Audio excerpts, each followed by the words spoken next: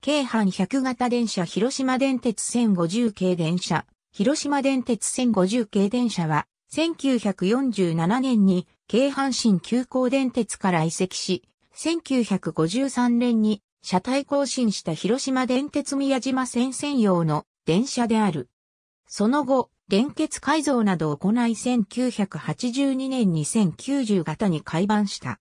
市内線の車両に対して床の地表からの高さが高かったため、高床車とも呼ばれた。第二次世界大戦後、宮島線の輸送力が切迫。1947年に運輸省の圧旋により、京阪新急行電鉄京阪線の木造車両を4両購入した。もともと100型及びその改造車である200型である。譲渡された時は元車が異なるために1051.1052と1053.1054では制御機器が異なっていた。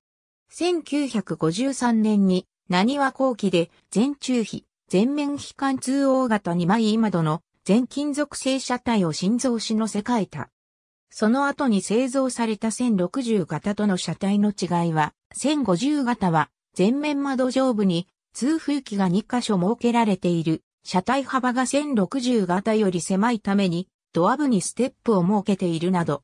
申請以来、炭鉱で活躍していたが、1979年に1053と1054を連結車に改造。同時に連結した側の運転台を撤去して変運転台化。制御機の改造、台車をブリル 27E-1 からボールドウィン78から 25AA に交換、通風機の撤去、前面窓左側上部に大型方向幕の設置、全消灯のシールドビームに投下を行った。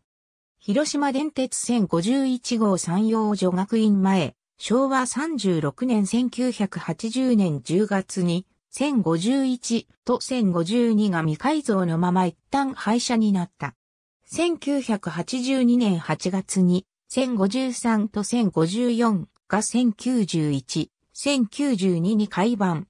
一旦廃車になっていた1051と1052の車体を利用し、同様の機器に交換して1093、1094として復活した。これまで元車が異なるために機器が異なっていたが、その改造で機器が統一された。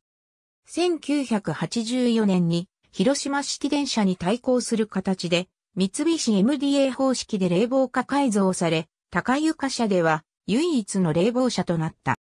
しかし、宮島線の運用を直通車に統一する方針で、1990年に3900型が登場し、これに交代する形で1990年から1991年にかけて廃車となった。1090系の運行終了で1991年8月で宮島線に残った鉄道車両は消滅した。1093、1094は冷房機器を3900型へ転用した後、長らく荒手車庫で保管されていたが、2002年にアメリカの博物館での車両復元にあたって台車を提供するために解体された。ありがとうございます。